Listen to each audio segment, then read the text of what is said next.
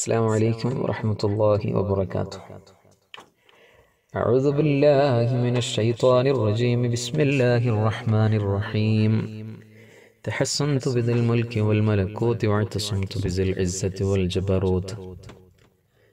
وتوكلت على الحي الذي لا يموت. دخلت في حرز الله وفي حفظ الله وفي أمان الله.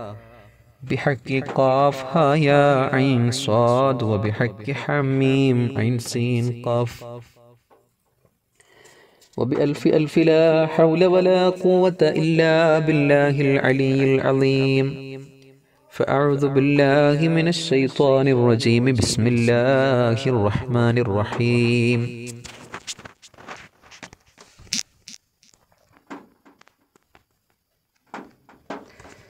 الحمد لله الذي أنزل على عبده الكتاب ولم يجعل له عوجا. قيما لينذر بأسا شديدا من لدنه ويبشر المؤمنين الذين يعملون الصالحات أن لهم أجرا حسنا. بارك الله بارك الله لنا ولكم بالقرآن الكريم ونفعنا وإياكم بالآيات وذكر الحكيم وعصمنا وإياكم برحمته من الشيطان الرجيم ഏറെ പ്രിയപ്പെട്ട മുഅ്മിനീങ്ങളെ അള്ളാഹു റബ്ബുൽ ഇസ്സത്ത് നമ്മൾ പറയുന്നതും കേൾക്കുന്നതുമെല്ലാം അവൻ പൊരുത്തപ്പെടുന്ന ഒരു സ്വാലിഹായ സൽക്കർമ്മമായി നമ്മിൽ നിന്നും കബൂൽ ചെയ്ത് അനുഗ്രഹിക്കട്ടെ നമ്മളിൽ മരണപ്പെട്ടു പോയ അഭിവന്ദരായ നമ്മുടെ ഉസ്താദുമാർ വാപ്പ ഉമ്മമാർ ജ്യേഷ്ഠാനുജ സുഹൃത്തുക്കൾ സ്നേഹിതന്മാർ അവരുടെയൊക്കെയും കബറു ജീവിതവും പരലോകവും അള്ളാഹു സന്തോഷത്തിലാക്കി കൊടുക്കട്ടെ. ഈ പരിശുദ്ധ ഖുർആൻ കൊണ്ട് വിജയിക്കുന്ന മുത്തക്കയങ്ങളിൽ അള്ളാഹു എന്നെയും നിങ്ങളെയും നമ്മളുമായി ബന്ധപ്പെട്ട സകലമാന മുഗ്നീയങ്ങളെയും ഉൾപ്പെടുത്തി തരട്ടെ. സൂറത്തുൽ കഹഫിന്റെ രണ്ടാമത്തെ ഭാഗം നമ്മൾ ചർച്ച ചെയ്യാൻ പോവുകയാണ്. അതിന്റെ രണ്ടാമത്തെ ക്ലാസ്സിലാണ് ഈ സൂറത്തിന്റെ നുസൂലുമായി ബന്ധപ്പെട്ട ഒരു സംഭവം ആദ്യത്തെ വാരം സൂചിപ്പിച്ചതുപോലെ. ഈ സൂറത്തിന്റെ നുസൂലുമായിട്ടൊരു സംഭവം മഹാനായ ഇമാം ഇബനു കസീർ തങ്ങളും മഹാനായ ഇമാം കുർത്തുബി തങ്ങളും രേഖപ്പെടുത്തുന്നത് തഫ്സീറിൽ കാണുന്നുണ്ട്. അഹ്റജ അബൂ നഈം ഫി ദലാഇൽ. ദലാഇലിൽ അബൂ നഈം എന്നവർ രേഖപ്പെടുത്തുന്ന ഒരു സംഭവം. അബൂ സ്വാലിഹ് എന്നവരെ തൊട്ട് ഇബ്ൻ അബ്ബാസ് എന്നവരെ തൊട്ട് റിപ്പോർട്ട് ചെയ്തിട്ടുള്ള ഹദീസിന്റെ ഭാഗമാണ്. അന്ന കുറൈഷൻ ഖുറൈശികളിൽ ചില ആൾക്കാർ അഞ്ച് ആളുകൾ ഇവർ പറഞ്ഞേക്കാം മദീനയിലേക്കാണ് പറഞ്ഞേക്കുന്നത്. മക്കാരാണ് കുറേശികൾ. മദീനയിലേക്ക് ഒരു അഞ്ച് വിഭാഗം ആളുകൾ പറഞ്ഞേക്കാണ്. മിൻഹും അക്ബത്തുബിന് അബി മുഅയ്സുണ്ട് നല്ലറുബിനുൽ ഹാരിസ് പ്രമുഖരായ രണ്ട് കുറേശികളാണ്. ഇവർ രണ്ടുപേരും ആ കൂട്ടത്തിലുണ്ട്. ഇലൽ മദീന. മദീനയിലേക്ക് കുറേശിക്കാർ ഒരു അഞ്ചംഗ സംഘത്തിനെ പറഞ്ഞേക്കുന്നു. അതിൽ അബു മുഅയ്സും നല്ലറുബിനുൽ ഹാരിസും ഉണ്ട്. അക്ബത്തുബിൻ അബി മുഅയ്സും നല്ലറുബിനുൽ ഹാരിസും ഉണ്ട്. ഇവർ പോകുന്നത്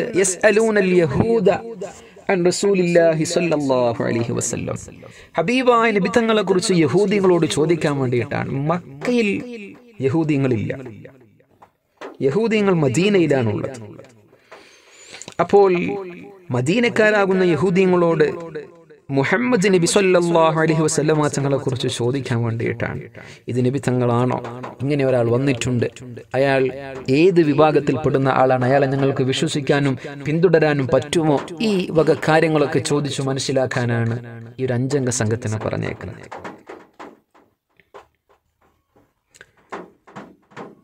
അവർ വരുന്നു. അവർ യഹൂദിക്കളായ മദീനക്കാരോട് മുഹമ്മദ് നബിയുടെ വിശേഷങ്ങളൊക്കെ പറഞ്ഞു കൊടുത്തു. ഫക്കാലൂലഹും അപ്പോൾ ഈ യഹൂദിങ്ങൾ തങ്ങളുടെ അടുക്കിലേക്ക് വന്നിട്ടുള്ള ഈ മക്കാരായ ആൾക്കാരോട് പറഞ്ഞു.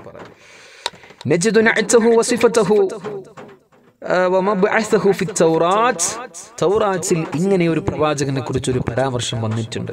ആ പ്രവാചകന്റെ വിശേഷണങ്ങളും സൂചനകളും അടയാളങ്ങളും ഒക്കെ പറഞ്ഞിട്ടുണ്ട്. فإن كان كما وصفتم لنا فهو نبي مرسل നിങ്ങൾ പറഞ്ഞതുപോലെയാണെങ്കിൽ അയാൾ മുർസലാണ് നബിയാണ് കേട്ടോ വഅംറുഹു ഹഖ്കുൻ അയാളെ കാര്യം സത്യമാണ് ഫത്തബിഊ നിങ്ങൾ അവരെ പിന്തുടരുകയും ചെയ്യണം നിങ്ങളിപ്പോൾ കുറേ വിശേഷണങ്ങളൊക്കെ പറഞ്ഞല്ലോ ആ വിശേഷണങ്ങൾ നിങ്ങൾ പറഞ്ഞതുപോലെയാണെങ്കിൽ ഞങ്ങൾ അതേപോലെ നിങ്ങൾ പറഞ്ഞ ഒരുപാട് വിശേഷണങ്ങളും അടയാളങ്ങളും തൗറാച്ചിലൊക്കെ ഞങ്ങൾ കണ്ടിട്ടുണ്ട്. മദീനക്കാർക്ക് പഴയ ഏടുകളിലും ഗ്രന്ഥങ്ങളിലൊക്കെ പരിജ്ഞാനമുള്ള ആളുകളാണ്. അപ്പോൾ നിങ്ങൾ പറഞ്ഞതുപോലെയാണെങ്കിൽ ആ വിശേഷണങ്ങളൊക്കെ ഞങ്ങൾ കണ്ടിട്ടുണ്ട്. നിങ്ങൾ അവരെ പിന്തുടരണം. അതായത് അയാൾ നബി തന്നെയാണ്. പക്ഷേ വലാകിൻ സലൂഹു അൻ സലാസി മൂന്ന് കാര്യങ്ങൾ നിങ്ങൾ ആ പ്രവാചകനോടൊന്ന് ചോദിക്കണം. മൂന്ന് കാര്യങ്ങൾ നിങ്ങൾ ആ പ്രവാചകനോട് ചോദിക്കണം. മറ്റൊരു റിപ്പോർട്ടിൽ വന്നിട്ടുള്ളത് മറ്റൊരു റിവാഴ്ചയിൽ സലൂഹു അൻ സലാസിൻ നിങ്ങൾ മൂന്നെണ്ണം ചോദിക്കണം. ബിഹിന്ന ആ മൂന്നിന് അദ്ദേഹം മറുപടി തരുന്നുണ്ടെങ്കിൽ ഫഹുവ നബിയുൻ മുർസലുൻ. തീർച്ച തന്നെ അയാൾ നബിച്ചങ്ങളാണ് മുർസലാണ് ആ മൂന്ന് ചോദ്യങ്ങൾക്ക് അയാൾക്ക് മറുപടി തരാൻ സാധിച്ചില്ല എങ്കിൽ അയാൾ വെറുതെ വാചാരനായി നടക്കുന്ന ആളാണ്. അതുകൊണ്ട് മൂന്ന് കാര്യങ്ങളെ കുറിച്ച് നിങ്ങൾ പോയി ചോദിക്കും. ഏതൊക്കെയാണ് ആ മൂന്ന് ചോദ്യങ്ങൾ ഒരു മൂന്ന് ചോദ്യങ്ങൾ പറഞ്ഞു കൊടുക്കുകയാണ് മക്കാരായ പിന്നെ കുറേശികൾക്ക് നിബിത്തങ്ങളെ പരീക്ഷിക്കാൻ ഇത് നിബിത്തങ്ങളാണോ എന്നറിയാൻ വേണ്ടിയിട്ട് യഹൂദിയങ്ങൾ മദീനക്കാരായ ആളുകൾ മൂന്ന് ചോദ്യങ്ങൾ അവർക്ക് പറഞ്ഞു കൊടുക്കുന്നു سلوه عن فتية ذهبوا في الدهر الأول ما كان من أمرهم നിങ്ങൾ ആ മുഹമ്മദിനോട് നിങ്ങൾ ചോദിക്കണം സല്ലല്ലാഹു അലൈഹി വസല്ലം അൻ ഫിത്തിയത്തിൻ കുറച്ച് ചെറുപ്പക്കാരെ കുറിച്ച് ചോദിക്കണം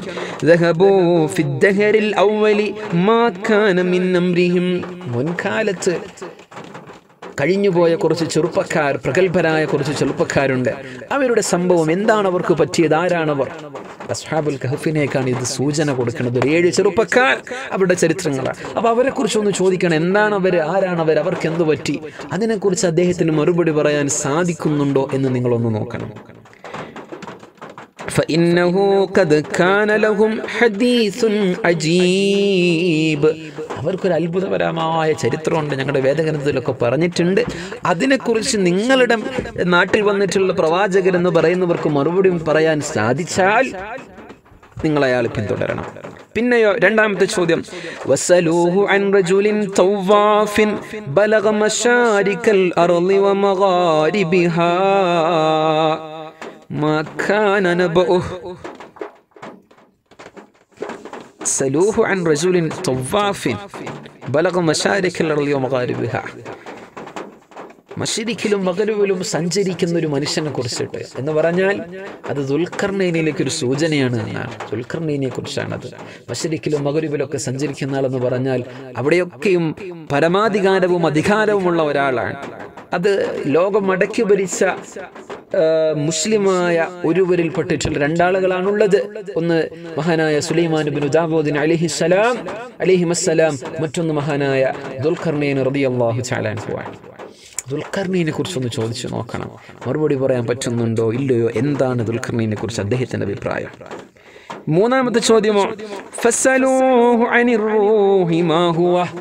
റൂഹിനെ കുറിച്ച് എന്താണ് ആത്മാവ്? സോൾ. എന്താണ് അതിനെ കുറിച്ച് അദ്ദേഹത്തിന് പറയാനുള്ളത്? അവർ പറയുന്നു മുസ്ലിഖിങ്ങൾ മദീനയിലെ യഹൂദിങ്ങൾ പറയുന്നു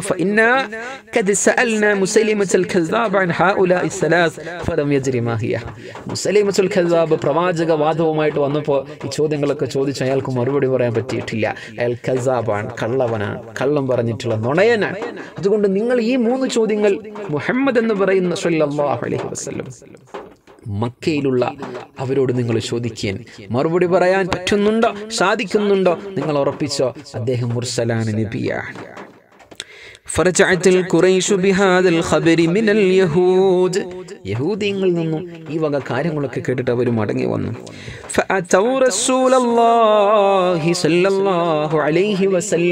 നബിത്തങ്ങളുടെ അടുക്കലേക്കാണ് വരുന്നത്. കാലു അവർ പറയുന്നു യാ മുഹമ്മദ് മുഹമ്മദേ സല്ലല്ലാഹു അലൈഹി വസല്ലം അഖ്ബിർനാ ഫസഅലൂഹു അമ്മാ ഉമൂറഹും ബിഹി. ഫസഅലൂഹു അമ്മാ അമറൂഹും ബി അവരോട് കൽപ്പിച്ച കാര്യങ്ങളെക്കുറിച്ചൊക്കെ ചോദിച്ചു. എന്താണ് ചോദിക്കാൻ വേണ്ടി ഏൽപ്പിച്ചിരുന്നത്? അതൊക്കെ ചോദിച്ചു ആരോട്? മുഹമ്മദ് നബി സല്ലല്ലാഹു അലൈഹി വസല്ലം. പക്ഷെ നബി തങ്ങൾ ഒന്നിനും പെട്ടെന്ന് മറുപടി പറഞ്ഞില്ല. ഫഖാല ലഹും റസൂലുള്ളാഹി സല്ലല്ലാഹു അലൈഹി വസല്ലം. നബി തങ്ങൾ അവർ കൊടുത്ത മറുപടി എന്താണ്? ഉഖ്ബിറുകും ഗദൻ ബിമാ സഅൽതും അൻ. നിങ്ങൾ ചോദിച്ചതിനൊക്കെ ഞങ്ങൾക്ക് നാളെ മറുപടി തരും. വലം യഖുൽ ഇൻഷാ അല്ലാഹ്. ഉഖ്ബിറുക്കും ഗജൻ നിങ്ങൾ ചോദിച്ചതിനെല്ലാം നാളെ ഞാൻ മറുപടി പറയും എന്നല്ലാതെ ഇൻഷാ അല്ലാഹ് എന്ന് പറയാൻ മറക്കുകയും ഇങ്ങനെ മറുപടിയും മറുപടി പറയുകയും ചെയ്തു. അസ്റഫുൽ ഹൽക്ക് സല്ലല്ലാഹു അലൈഹി വസല്ലം. ജുബിലിയിൽ വരുന്നില്ല. ഫഅബ്ത അലൈഹി ജിബ്രീലു ഖംസത അശറ യൗമൻ 15 ദിവസം ഈ സംഭവം നടന്ന 15 ദിവസം കഴിഞ്ഞിട്ടും വഹയൊന്നും വരുന്നില്ല ജിബ്രീൽ വരുന്നില്ല فشك ذلك على رسول الله صلى الله عليه وسلم നബി തങ്ങൾക്ക് ഇതൊരു വല്ലാതെ പ്രയാസമായി വഹസിന നബി തങ്ങൾക്ക് സങ്കടായി കാരണം മക്കാരായ കുറേശികൾ ഇത് ചോദിക്കുന്ന മറുപടി കൊടുത്തില്ലെങ്കിൽ നാണക്കേടാണ് അവർ വിചാരിക്കും ഞാൻ നുണ പറയുന്ന ആളാണ് സംശയം വരും സന്ദേഹം വരും നബി തങ്ങളിൽ ആക്ഷേപം ഉയരും ജിബിരിയിൽ ഒരു വഹയുമായിട്ട് വന്നാലല്ലയോ നബി തങ്ങൾക്ക് മറുപടി പറയാൻ പറ്റുക ثم أتاه جبريل من الله عز وجل بسورة أصحاب الكهف സൂറത്തുൽ കഹുഫുമായി കൊണ്ട് ജിബ്രീൽ വരുന്നു. ഇലാ ഹദ്റത്തി റസൂലില്ലാഹ്. സല്ലല്ലാഹു അലൈഹി വസല്ലം. പിന്നെ ജിബ്രീൽ വരെ അനുബിധങ്ങൾ അടുക്കിലേക്ക് സൂറത്തുൽ കഹഫിന്റെ നുസൂൽ അപ്പോഴാണ് നടക്കുന്നത്. അതിൽ അവരുടെ ചോദ്യങ്ങൾക്ക് മുഴുവൻ ഷാബുൽ കഹഫിനെ കുറിച്ചുള്ള പ്രതിപാദ്യം അതുപോലെ ദുൽഖർണീനെ കുറിച്ച് പറയുന്നുണ്ട്. പിന്നെ അവർ ചോദിച്ച റൂഹിനെ കുറിച്ചാണ്. അപ്പൊ മറുപടി കുലി റബ്ബി റൂഹ് അത് റബ്ബിന്റെ കാര്യമാണ്. അതിനെക്കുറിച്ച് കൂടുതൽ ചർച്ചകളും വിചിന്തനങ്ങളും ചിന്തകളും സർവിത ചർവണങ്ങളും ഇല്ല. അത് റബ്ബിലേക്കുള്ള ഒരു ഡിപ്പാർട്ട്മെന്റ് ആണ്. അതിനെക്കുറിച്ച് ചർച്ചയില്ല. ഇവിടെ നബിച്ചങ്ങൾ ഇൻഷാ അള്ള എന്ന് പറയാൻ പറഞ്ഞു മറന്നുപോയി എന്നുള്ളൊരു സംഭവം. ഞാൻ നാളെ പറഞ്ഞു തരും. നിങ്ങൾ ചോദിച്ചതിനൊക്കെ മറുപടി പറയും. പക്ഷെ ഇൻഷാ അല്ല പറയണായിരുന്നു അത് പറയാത്തത് കൊണ്ടാണ് പതിനഞ്ച് നാളോളം നബിസങ്ങൾക്ക് മാനസികമായിട്ട് പിരിമുറക്കമുണ്ടായി എന്നുള്ളതാണ്.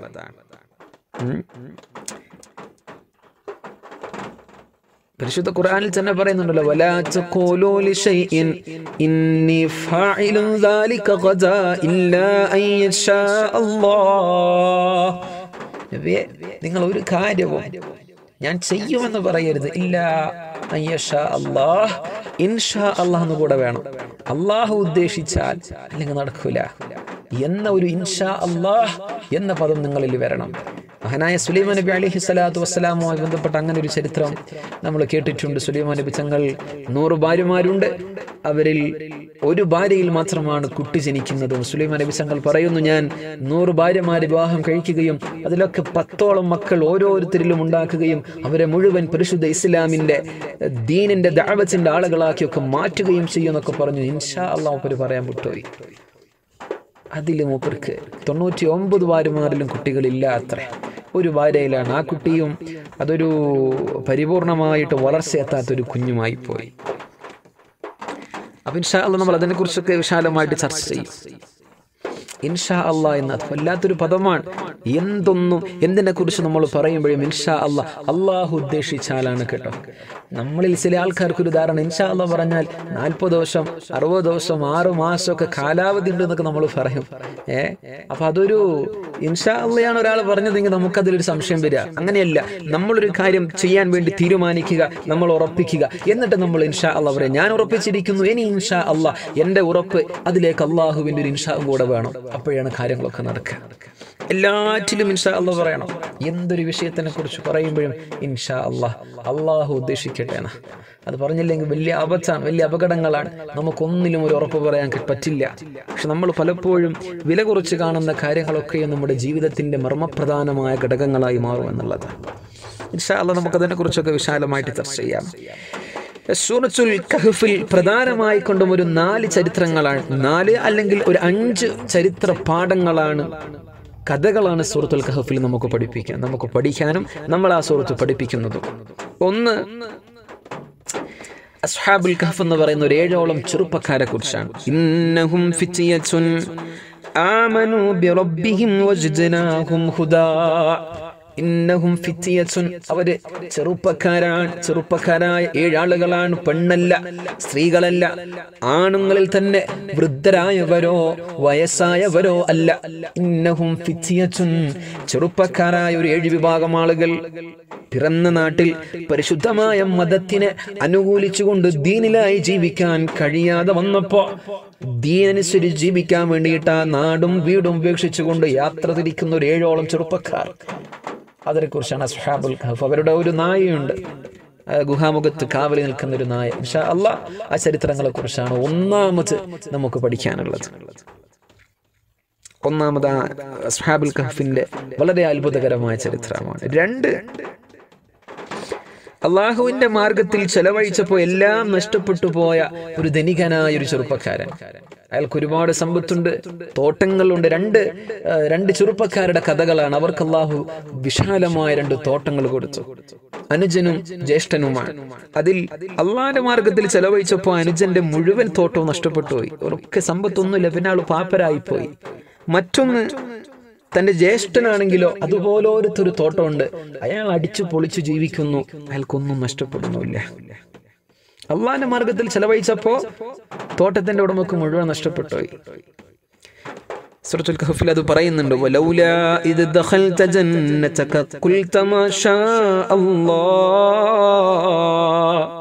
നിങ്ങളുടെ തോട്ടത്തിൽ നിങ്ങൾ കിടക്കുമ്പോ മഷാ അല്ലാ എന്ന് പറയണം ഇതൊന്നും നിങ്ങളുടേതല്ല.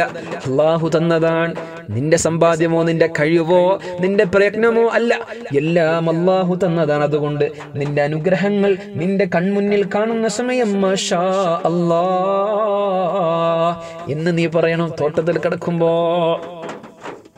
ചില വീട് പണിയൊക്കെ നടക്കുന്ന സ്ഥലത്തൊക്കെ ഒരു ബോർഡ് വെച്ച കാണാം മാഷാ അള്ളാഹ് ഏ? ചില തോട്ടത്തിലൊക്കെ കിടക്കുമ്പോൾ ചില വാഹനങ്ങളുടെ ഒക്കെ ബാക്കിലൊക്കെ ഒരു മാഷ അള്ള എഴുതിയിട്ടുണ്ടാവും. എന്താണ് അതിന്റെ അസലെന്ന് എനിക്കറിയില്ല. ഇവിടെ സൂറത്തുൽ കഹഫിൽ പറയുന്നത് ആ തോട്ടത്തിലേക്ക് നീ കടക്കുമ്പോൾ നീ മാഷ അള്ള എന്ന് പറയണം. അള്ളാഹുവിനെ കൊണ്ടല്ലാതെ മറ്റൊരു കഴിവുമില്ല.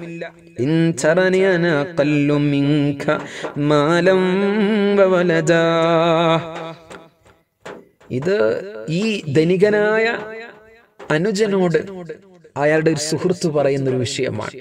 ആ സുഹൃത്തും ഇയാളും കൂടെ തോട്ടത്തിലേക്ക് കടക്കുമ്പോൾ ഇയാൾ ഇച്ചിരി ഫഹർ കാണിച്ച സമയത്ത് ഇയാൾ പറഞ്ഞതാണ് നീ മാഷാ പറയണതൊന്നും പറയണത് നിന്റെ കഴിവല്ല അള്ളാഹു നിനക്ക് തന്നതാണ്. നമുക്കുള്ളതൊക്കെയും അള്ളാഹു തന്നതാണ് അതിലൊന്നിലും നമ്മൾ ഫഹർ കാണിക്കാൻ പാടില്ല. ഒന്നിലും ഒരു അല്ല അൽ കിബിരിയ ഓ കിബിരിയ എന്ന് പറയുന്നത് അള്ളാഹുവിന്റെ സിഫത്തിന്റെ കൂട്ടത്തിൽപ്പെട്ടതാണ്. അതൊരിക്കലും ഒരാൾക്കും കിബർ നടിക്കാൻ പറ്റൂലല്ലോ. ഉള്ളതെല്ലാം അള്ളാഹു അതുകൊണ്ടാണ് കണ്ണാടിയിൽ നോക്കിയിട്ട് നിങ്ങൾക്ക് മുഖഭംഗി വല്ലാതെ തോന്നിക്കഴിഞ്ഞാൽ കണ്ണാടിയിൽ നോക്കുകയാണ്. നിങ്ങൾ നല്ലൊരു സുന്ദരനാണ് സൗന്ദര്യമുള്ള ആളാണ്. അപ്പൊ നിങ്ങൾ എന്തു പറയണം? അലഹമുല്ലാഹില്ലതി അള്ളാഹുവെ നിനക്കാണ് സർവസ്തുതിയും. അള്ളാഹുമ്മ ഹസ്സിൻ ഹുലുക്കി കമാ ഹസ്സൻ ഖൽക്കി. എന്റെ സ്വഭാവത്തിനെ നീ ശുദ്ധിയാക്കണ റബ്ബെ നന്നാക്കണേ റബ്ബെ എന്റെ സൃഷ്ടിപ്പിനെ നീ നന്നാക്കിയതുപോലെ. ഏ വസ്ത്രം ധരിക്കുമ്പോഴോ? അവിടെയും ചൊല്ലണല്ലോ. ദിക്റുണ്ട്. വസ്ത്രം ധരിക്കുന്ന സമയത്ത് ചൊല്ലാൻ പരിശുദ്ധ ദീനുൽ ഇസ്ലാം നമ്മളെ പഠിപ്പിച്ച മുത്തുനബി മുഹമ്മദ് റസൂലുള്ളാഹി സ്വല്ലല്ലാഹു അലൈഹി വസല്ലം. അൽഹംദുലില്ലാഹി ഖസാനി ഹാദാ. ഈ വസ്ത്രം എന്നെ ധരിപ്പിച്ച റബ്ബെ നിനക്കാണ് സർവസ്തുതിയും അതിന് എത്ര ക്വാളിറ്റിയുള്ള ഏത് ബ്രാൻഡുള്ള വസ്ത്രമാണെങ്കിലും അത് ധരിക്കുമ്പോൾ നിങ്ങൾ ഇത് ചൊല്ലണം. കാരണം ഇതൊക്കെ അള്ളാഹു തന്നതാണ്. അതാണ് ആ മനുഷ്യനോട് പറഞ്ഞത് നിന്റെ തോട്ടത്തിലേക്ക് കടക്കുമ്പോഴേ ഇതൊക്കെ ഞാൻ ഉണ്ടാക്കിയതാന്ന് പറയണ്ട. ഇതൊക്കെ എന്റെ വാപ്പ ഉണ്ടാക്കിയതൊക്കെ ഞങ്ങളുടെ മുതലാന്നുള്ളൊരു സംസാരം എന്റെ ബിസിനസ്സാണ് എന്റെ സാമ്രാജ്യമാണെന്ന് പറയണ്ട. ഇതൊക്കെ അള്ളാഹു തന്നതാണ്. അള്ളാഹു തന്നതാണ്. അള്ളാഹുവിന്റെ മാർഗത്തിൽ ചെലവഴിച്ചപ്പോ ഒക്കെ നഷ്ടപ്പെട്ടു പോയൊരു അനുജൻ. അടിച്ചു പൊളിച്ച് ജീവിച്ചപ്പോഴോ ഒന്നും നഷ്ടപ്പെട്ടില്ല. അങ്ങനെ ഉണ്ടാവും. നല്ല ആളുകൾ അള്ളാഹു പരീക്ഷിച്ചുകൊണ്ടേയിരിക്കുമെന്നാണ്. പ്രവാചകന്മാരുടെ കൂട്ടത്തിൽപ്പെട്ടിട്ടുള്ള ഒരു പ്രവാചകർ ഒരു പുഴയുടെയോ മറ്റോ തീരത്തുകൂടെ നടന്നു പോകുമ്പോൾ ഒരാളെ കാണുന്നു. അയാൾ ചൂണ്ടയിടുകയാണ്. അള്ളാഹുവിന്റെ മാർഗത്തിൽ അള്ളാഹുവിന്റെ പേര് പറഞ്ഞ് ഞാൻ ചൂണ്ടയിടുന്നു എന്ന് പറഞ്ഞാണ് അയാൾ മീൻ പിടിക്കാൻ നിൽക്കുന്നത്. കുറേ സമയം മീൻ പിടിച്ചാൽ അയാൾക്ക് ഒന്നും കിട്ടണില്ല. ഈ പ്രവാചകർ നടന്ന് മുമ്പോട്ട് പോകുന്നു. മറ്റൊരു മനുഷ്യനെ കാണാൻ. അയാൾ ഷൈത്താനിന്റെ പേരിൽ ഞാൻ മീൻ പിടിക്കുന്നു. അയാൾക്ക് കിട്ടണം മീനിനൊരു കയ്യും കണക്കുമില്ല. അപ്പൊ ഈ പ്രവാചകർ ചോദിച്ചു റബ്ബിനോടാണ് യാ നിന്റെ പേരിൽ മീൻ പിടിക്കുകയും നിന്നിൽ ഭരമേൽപ്പിക്കുകയും ചെയ്ത ഒരാൾക്ക് നീ ഒന്നും കൊടുത്തില്ല. നിന്റെ പ്രതിശത്രുവും ഈ ദീനിന്റെ തന്നെ ശത്രുവായ ഇബിലീസിന്റെ പേരിൽ ഒരാൾ മീൻ പിടിക്കുമ്പോ അയാൾക്ക് നീ വല്ലാതെ കൊടുക്കാൻ എന്താണ് റബ്ബെ? എന്താണ് ഈ കാണുന്നത്? ഇതിന്റെ രഹസ്യം എന്താണ് റബ്ബേ? അള്ളാഹു ചാല പ്രവാചകർക്ക് വഹി കൊടുത്തു എന്നുള്ളതാണ് നബിയെ നിങ്ങൾ ദുനിയാവിൽ അയാൾക്ക് കൊടുത്തതും ഇയാൾക്ക് ഇല്ലാത്തതുമാണ് കാണുന്നത്. ആഖിറത്തിൽ അങ്ങനെയല്ല നബിയെ? മീൻ അയാൾക്ക് ഇവിടെ കിട്ടാതിരുന്നപ്പോൾ അയാൾ വല്ലാതെ സങ്കടപ്പെട്ടു പ്രയാസപ്പെട്ടില്ലേ? അതനുസരിച്ചിട്ട് അതിന്റെ അത്രത്തോളം ഞാൻ അയാളെ സങ്കടപ്പെടുത്തിയത്. ആഹ്റത്തിൽ അത്ര കണ്ട് കൂട്ടിക്കൊടുക്കാനാണ്. ദുനിയാവിൽ കഷ്ടപ്പെടുന്നതിന്റെ കണക്കനുസരിച്ച് പതിന്മടങ്ങനുസരിച്ച് അള്ളാഹു ആഹ്റത്തിൽ ഇങ്ങനെ തരുമെന്ന് അപ്പൊ അതിനും വേണ്ടിയിട്ടാണ്. അങ്ങനെ ആഹ്റത്തിൽ ആ മനുഷ്യന് കൊടുക്കണമെങ്കിൽ എന്തെങ്കിലും ഒരു റീസൺ വേണ്ടേ? എന്തിന് ഞാൻ ഈ മനുഷ്യന് കൊടുത്തു? ന്യായം അജിൽ അള്ളാഹു ആദിലാണ് നീതിമാനാണ്. അപ്പോൾ ആഹ്റത്തിൽ കൊടുക്കണമെങ്കിൽ അതിന് എന്തെങ്കിലും ഒരു ശബബ് വേണ്ടേ? അള്ളാഹു അസ് മുസബിബുൽ അസ്ബാബുമാണ് കാരണങ്ങൾ അള്ളാഹു തന്നെ ഉണ്ടാക്കിയെടുത്തു. അപ്പൊ ഈ മനുഷ്യൻ ആഹ്ലത്തിൽ അള്ളാഹു കൊടുക്കുന്നതൊക്കെ ഈ നബിക്ക് കാണിച്ചു കൊടുത്തപ്പോൾ ഈ നബി തങ്ങൾ പറഞ്ഞു യാ അള്ളാഹ് അള്ളാഹുവേ സുബ്ഹാനല്ലക് നിന്റെ പരിശുദ്ധി അതിനെ ഞാൻ വായിച്ചെന്നു റബ്ബി എന്ന് മറുപടി പറഞ്ഞു എന്നാണ് ആഹ്ലത്തിൽ ഈ മനുഷ്യൻ അത്ര കണ്ട് കൊടുക്കുന്നു അപ്പൊ അതിനാണ് ഇവിടെ ദുനിയാവിൽ ആ മനുഷ്യൻ അള്ളാഹു കൊടുക്കാതിരുന്നത്. എന്നാൽ ബിസ്മി എന്ന് പറഞ്ഞു മീൻ പിടിച്ച ആ മനുഷ്യനിക്കോ? അൽ കാഹ്ലത്തിൽ അസാബിലോട് അതാബ് കാരണം ദുനിയാവിൽ അത്രയും കൊടുത്തിട്ട് ആ മനുഷ്യനിക്ക് ഒരു മാറ്റം വന്നില്ലല്ലോ. ഇതൊക്കെ നിന്റെ അള്ളാഹു തന്നതാണ് സൃഷ്ടിച്ചു പരിപാലിക്കുന്ന സർവാധിപതിയായ റബ്ബ് നിനക്ക് തന്നതാണെന്നുള്ള ബോധ്യം ആ മനുഷ്യന് വന്നില്ലല്ലോ. അതുകൊണ്ട് അത്ര കണ്ട് ശിക്ഷ അവനിക്കുണ്ട് എന്നാണ്. കാഫിർ മുഅ്മിൻ. ദുനിയാവിനെ കുറിച്ച് അത് അത് കാഫിരിയങ്ങൾക്ക് കുഫിരിയച്ചിന്റെ ആളുകൾക്ക് അതൊരു സ്വർഗമായിട്ട് തോന്നിയേക്കാം. മുഅ്മിനിന് അതൊരു ജയിൽ പോലെ തടവറ പോലെ തോന്നിയേക്കാം. അത് ആഹ്ലത്തിൽ അള്ളാഹു എളുപ്പം ചെയ്തു കൊടുക്കുന്നത് കൊണ്ടാണ്. എത്രയോ ആളുകൾ ഉണ്ടായിരുന്ന സമ്പത്ത് മുഴുവനും നശിപ്പിച്ചുകൊണ്ട് വേണ്ട അമർബിൻ അബ്ദുൽ അസീസിന്റെ ചരിത്രങ്ങളൊക്കെ വളരെ പ്രസിദ്ധമാണ്. മണിമാളികയിൽ നിന്ന് അമ്പരചുംബികളായ കൊട്ടാര സദൃശമായ മണിമാളികയിൽ നിന്നും ഒരു കുടിലിലേക്ക് മടങ്ങി വന്നു അമർബിൻ അബ്ദുൽ അസീസ്. അദ്ദേഹമൊക്കെ ഭരിക്കുന്ന കാലം പുതിയൊരു രാജാവ് സ്ഥാനാരോഹണം നടത്തുന്ന സമയത്ത് സ്വർണത്തിന്റെ പട്ട് വിരിക്കും. ആ രാജാവിന് നടന്നു പോവാൻ വേണ്ടിയിട്ടാണ്. പുതിയ രാജാവ് വരുമ്പോൾ ആ പട്ട് മാറ്റിയിട്ട് പുതിയൊരു സ്വർണത്തിന്റെ പട്ട് ആ പട്ട് ആ രാജാവിന്റെ കുടുംബത്തിന് കൊടുക്കും മുൻകാലത്തെ രാജാവിന്റെ ഓരോ രാജാക്കന്മാർ മാറി മാറി വരുമ്പോൾ സ്വർണത്തിന്റെ പട്ടുകളും സ്വർണത്തിന്റെ സിംഹാസനങ്ങളൊക്കെ പുതിയതുണ്ടാക്കുന്ന ഒരു പ്രകൃതം ആ കാലത്തുള്ള ആളുകൾക്കൊക്കെ ഉണ്ടായിരുന്നു. അതെല്ലാം വേണ്ടെന്ന് വിചാരിച്ചിട്ട് കീറിപ്പറഞ്ഞ വസ്ത്രം ധരിച്ചുകൊണ്ട് കുടിലിലേക്ക് താമസം മാറ്റിയ ആളാണ് അബ്ദുൽ അസീസ്. കാരണം ഇതൊക്കെ അള്ളാഹുവിന്റെ പരീക്ഷണമാണ്. സ്വത്തും സമ്പാദ്യവും കൂടുതൽ ലഭിക്കുമ്പോൾ നമ്മൾ അള്ളാഹുവിനെ മറക്കും. അള്ളാഹു നമ്മളെ മറപ്പിക്കും. ആ ഒരു രീതിയിലേക്കുള്ള പരീക്ഷണം വരുമെന്ന്. അതുകൊണ്ടാണ് അഷ്റഫുൽ വറ മുഹമ്മദ് റസൂലുള്ള സല്ലല്ലാഹു അലൈഹി വസല്ലം തങ്ങൾ ദീനം ദിനം പ്രാർത്ഥിക്കാറുണ്ടായിരുന്നത്. അല്ലാഹുമ്മ അഹ്യിനി മിസ്കീനാ. എന്നെ മിസ്കീനാക്കണം. എന്താ മിസ്കീന്റെ അർത്ഥം? ആവശ്യത്തിനുള്ളത് കിട്ടണില്ല. ഒരല്പം അതിൽ കുറവാണ്. അപ്പൊ അള്ളാഹിന് ഓർമ്മ ഉണ്ടാവും എന്നാലോ കാര്യങ്ങളൊക്കെ നടക്കണമുണ്ട്. എന്നെ മരിപ്പിക്കുമ്പോഴും മിസ്കീനാക്കി മരിപ്പിക്കണേ റബ്ബേ. മിൻ സുംറത്തിൽ മസാക്കീൻ മിസ്കീമാരുടെ കൂട്ടത്തിൽ എന്നെ ഉൾപ്പെടുത്തുകയും വേണം. അതെപ്പോഴും നമ്മൾ ശ്രദ്ധിക്കേണ്ട ഒരു കാര്യമാണ്.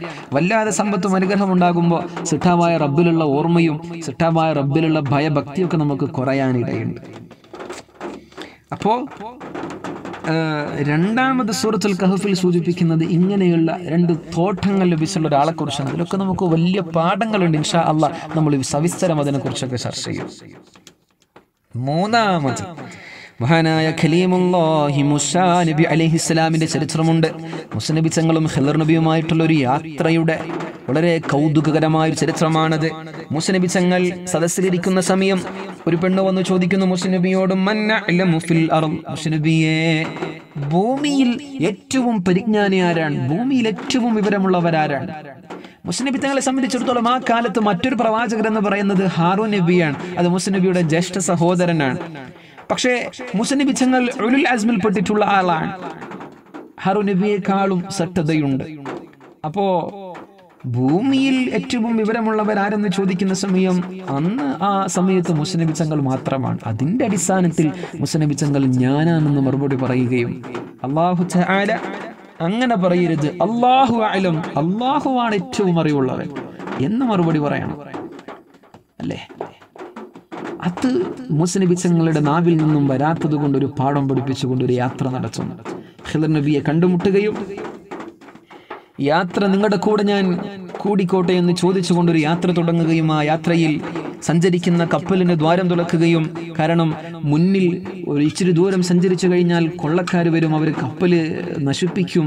പക്ഷെ ദ്വാരമുള്ള കപ്പലാകുമ്പോൾ അവർ വെറുതെ വിടുമെന്ന ദീർഘവീക്ഷണം ഉണ്ടാവുകയും കളിച്ചുകൊണ്ടിരിക്കുന്ന ഒരു കുട്ടിയെ ആ കുട്ടി ഭാവിയിൽ മാതാപിതാക്കളെ ദ്രോഹിക്കുന്നവനുമായി മാറുമെന്നതുകൊണ്ട് ആ കുട്ടിയെ വധിക്കുകയും പൊളിഞ്ഞു കിടന്നിരുന്ന ഒരു മതിൽ ഒരു നാട്ടിൽ ചെന്നപ്പോ യാതൊരുവിധ ആതിഥ്യ മര്യാദയും ആ നാട്ടുകാർ കൊടുക്കാതെ ഒരു വെള്ളവും ഒരു ഭക്ഷണവും കൊടുത്തില്ല. പക്ഷെ ആ നാട്ടിൽ പൊളിഞ്ഞു വീണ് കിടക്കുന്ന ഒരു മതിൽ അത് കെട്ടി നന്നാക്കി കൊടുക്കുകയും കാരണം അതിന്റെ അടിയിൽ എത്തി മക്കളുടെ സ്വത്തുണ്ട് ആ വാപ്പ കുഴിച്ചിട്ടത്.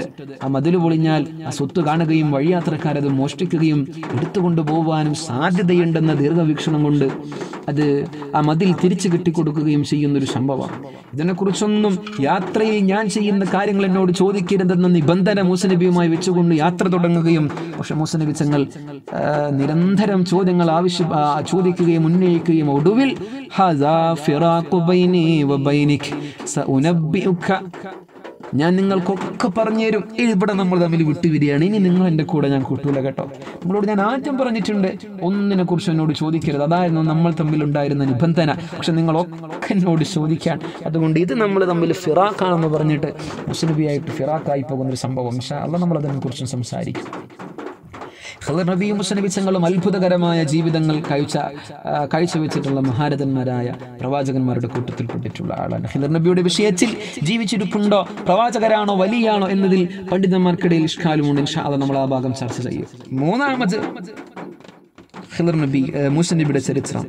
നാലാമത് പരിശുദ്ധ സൂറത്തുൽ കഹഫിൽ പറയുന്നത് സുൽഖർനൈനിയെ കുറിച്ചാണ് ويسألونك عن ذي القرنين قل سأتلو عليكم منه ذكرا നബിയെ നിങ്ങളോട് അവര് ദുൽഖർണീനെ കുറിച്ച് ചോദിക്കും ഇൻഷാ അള്ളാഹ് ദുൽഖർണീനുമായി ബന്ധപ്പെട്ട കാര്യങ്ങളൊക്കെ നിങ്ങൾക്ക് ഞാൻ പറഞ്ഞു തരും ഖുർആൻ വിശുദ്ധ ഖുർആൻ പറയാം ചരിത്രത്തിൽ സൈറസ് രണ്ടാമൻ എന്നറിയപ്പെടുന്ന ആളാണ് ദുൽഖർണീനൊക്കെ സൈറസ് രണ്ടാമൻ ദുൽഖർണിയും വലിയ ആബിദും സാലിഹും ആലിമുമായ മനുഷ്യനായിരുന്നു ദുൽഖർണി അള്ളാഹുവിന്റെ ഏറ്റവും അടുത്ത ഒരു മഹബീങ്ങളെപ്പെട്ടിട്ടുള്ള ആളാണ് ദുൽഖർണയും രണ്ട് കർൺ എന്ന് പറഞ്ഞാൽ കൊമ്പെന്നാണ് അർത്ഥം. രണ്ട് കൊമ്പിന്റെ ഉടമ. അതിലൊക്കെ ഒരുപാട് സിറുകളുണ്ട്. ദുൽഖർണയിനിയും ഹിദർ നബിയുമായിട്ട് ചെറിയ ബന്ധങ്ങളൊക്കെ ഉണ്ട് എന്നാണ് ചരിത്രത്തിൽ നമുക്ക് കാണാൻ പറ്റുന്നത്. അവർ മാതൃ സഹോദരി പുത്രന്മാരാണെന്നൊക്കെ നമുക്ക് കാണാൻ പറ്റുന്നുണ്ട്. ഈ നാല് ചരിത്രങ്ങളിൽ പിന്നീടൊന്ന് പറയാൻ പോകുന്നത്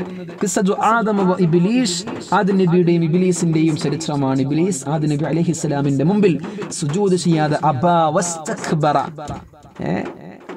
ഇസ്തിക്ബാർ കിബർ കാണിച്ചുകൊണ്ട് മടങ്ങുന്ന ഒരു സംഭവമാണ്. ഈ അഞ്ച് സംഭവങ്ങൾ ഇതിൽ ഇതിലെ ഒക്കെയും ഇബിലീസിന്റെ പ്രേരണ ഈ നാലിലും വരുന്നുണ്ടെന്നുള്ളത്. ഈ നാല് സംഭവങ്ങളിലും ഇബിലീസിന്റെ ഒരു ഒരു ചെറിയൊരു സാന്നിധ്യവും കാണാൻ പറ്റുന്നുണ്ട്.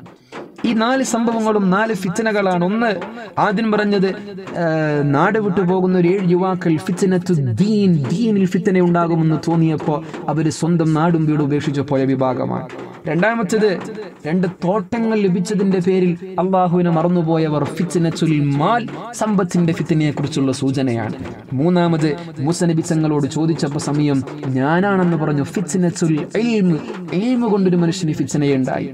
അല്ലെ പണ്ഡിതന്മാരാണ് ലോകത്തിലെ ഏറ്റവും വലിയ ഏറ്റവും വലിയ നന്മയും തിന്മയും അവരുടെ ഭാഗത്തു നിന്നാണ് ഉണ്ടാവുക എന്നുള്ളതാണ്. ഫിസനസ് ഇൽമ്. ഇൽമ് വല്ലാത്തൊരു ഫിസനയാണ് അല്പജ്ഞാനികളായ ആളുകൾ ഫത്തുവ കൊടുക്കുകയും മസലകളിൽ ചർച്ച ചെയ്യുകയും വിവാറച്ചുകളൊക്കെ കൈകാര്യം ചെയ്ത് ക്രയവിക്രയമൊക്കെ നടത്തുന്നത് അല്പജ്ഞാനികളാണ്. എൽമു വല്ലാത്തൊരു ഫിത്തനയാണ് ചില സമയങ്ങളിൽ.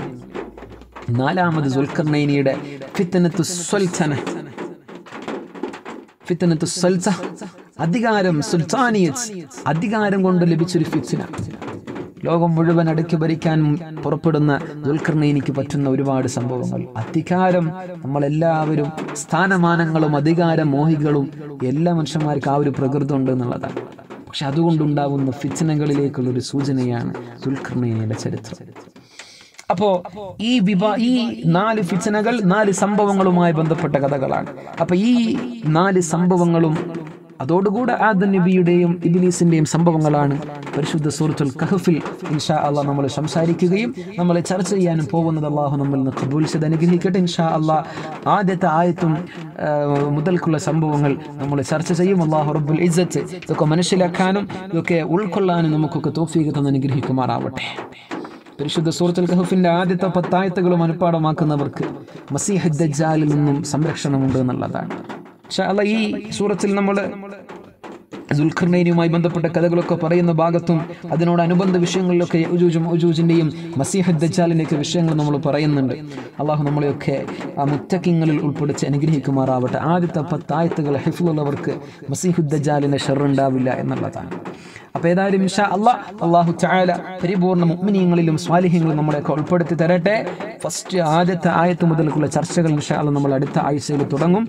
അതുവരേക്കുമുള്ള ഈ കാര്യങ്ങളൊക്കെ ഒന്ന് മനസ്സിലാക്കുക. പരിശുദ്ധ ഖുർആൻ കൊണ്ട് വിജയിക്കുന്ന മുത്തക്കിങ്ങളിൽ അള്ളാഹു നമ്മളെയൊക്കെ ഉൾപ്പെടുത്തി തരട്ടെ. നമ്മളിൽ ഒരുപാട് ആളുകൾ പല ആളുകളും പ്രാർത്ഥന കൊണ്ട് വസീത ചെയ്യുന്നവരൊക്കെയും ഉണ്ട് അള്ളാഹുവർക്കൊക്കെ എല്ലാവിധ ഹൈറും ബറക്കത്തും നിലനിർത്തി കൊടുക്കട്ടെ എന്ന് മാത്രം പ്രാർത്ഥിച്ചുകൊണ്ട് ഇൻഷാ അള്ളാഹ് അവസാനിപ്പിക്കുന്നു. വആഖിറു ദഅവാന അൽഹംദുലില്ലാഹി റബ്ബിൽ ആലമീൻ. അസ്സലാമു അലൈക്കും വറഹ്മത്തുള്ളാഹി വബറകാതുഹു.